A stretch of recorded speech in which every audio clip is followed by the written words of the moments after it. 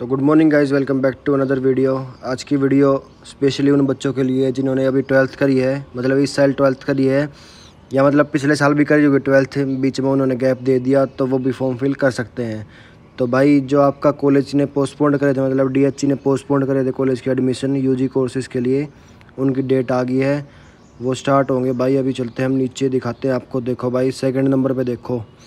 Online registration of applicants on online admission portal, वो होंगे भाई सत्रह तारीख से मतलब कल से आपके एडमिशन चालू हो जाएँगे और वो भरे जाओगे भाई अट्ठाईस तारीख तक। मतलब सत्रह से लेकर अट्ठाईस थी, आपने ऑनलाइन रजिस्ट्रेशन करना है डीएचई की साइट पर जाकर दुकान पर जाकर या फिर अपना आप घर बैठ कर भी कर सको हो, अगर किसी ने आता हो। बाकी मैं प्रेफर करूँगा दुकान पर जाकर कर लेना, क्योंकि भाई उन्हें एक्सपीरियंस हुआ है और वो सही तरीका भर देंगे सब कुछ, आपके डॉक्यूमेंट लगा देंगे।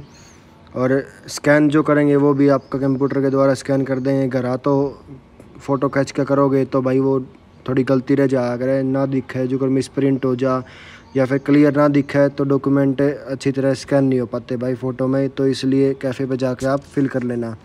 उसके बाद डॉक्यूमेंट ऑनलाइन वेरिफिकेशन करेगा भाई कॉलेज वो साथ साथ आपके होते रहेंगे। जिस भी टाइम आप रजिस्ट्रेशन करोगे तो उसके मैसेज पहुँच जाएगा कॉलेज वालों के पास।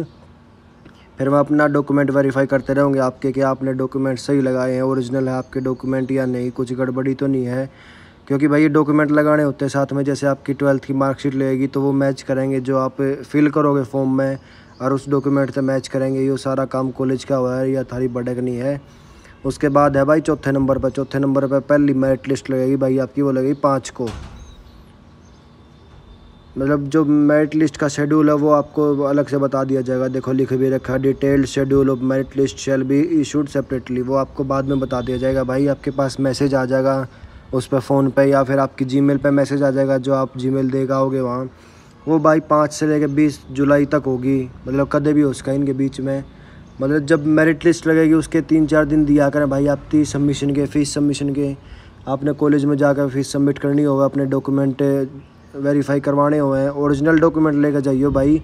कदे कोई कॉपी ले जा, क्योंकि भाई वहाँ कॉपी भी चाहिए आ करें और ओरिजिनल भी चाहिए आ रहा दोनों डॉक्यूमेंट चाहिए आ करें और जो आप ऑनलाइन फ़ीस कटवाओगे, उसकी रसीद भी लेकर जाइए कदे फिर आउट है, बाहर प्रिंट आउट निकलवाते।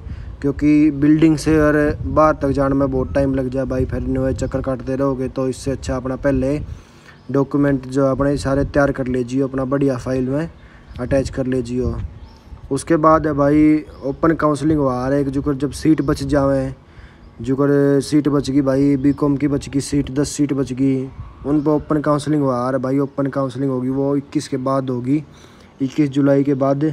उसमें ज़्यादातर चांसेस होंगे कि भाई जिसका एडमिशन ना होया हो तो वो एडमिशन करवा सके। है उसमें भी लिस्ट आ ही रहा है वैसे तो पर कोई सिफारिश से पूरी साड़ा हो, कोई मास्टर जानकार हो, कोई टीचर जानकार हो तो भाई वो करवा दिया अगर आपका एडमिशन तो करवा लेना भाई ओपन काउंसलिंग में ओपन काउंसलिंग में ज़्यादातर जानकारों के ही होते हैं।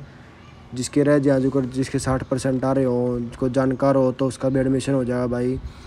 वो आप कॉलेज के साथ आर्ग्यूमेंट भी नहीं कर सकते, आप कुछ भी नहीं कर सकते भाई, क्योंकि वो सब कॉलेज पर डिपेंड होता है।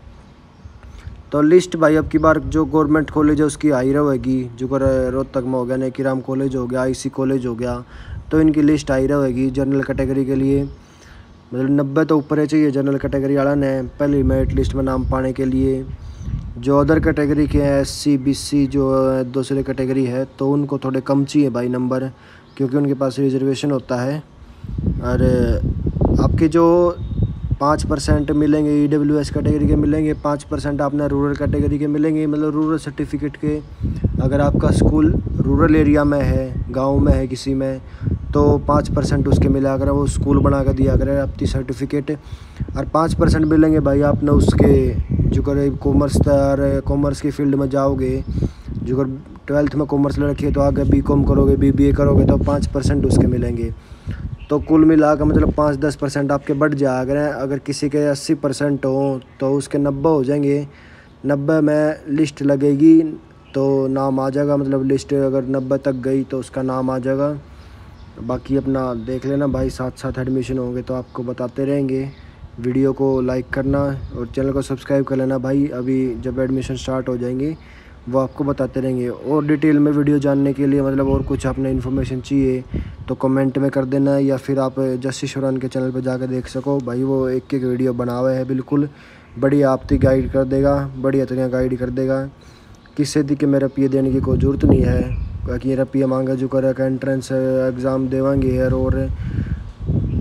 तो किसी की कुछ रुपये देने की ज़रूरत नहीं है भाई अपना अपने आप भी सर्च कर सको तो हम थोड़ी मेहनत लगेगी बस। और एंट्रेंस एग्ज़ाम में वैसे तो ट्वेल्थ का सिलेबस आता है ज़्यादातर जी के आओगी और, और। बाकी तो हम पहले देख लेते थोड़े दिन पहले तो एम की साइट पर मिल सका था एंट्रेंस एग्ज़ाम बाकी इतना मुश्किल नहीं होता तो भाई अपना देख लेना कर लेना। अब आपको वीडियो मिलेगी कल।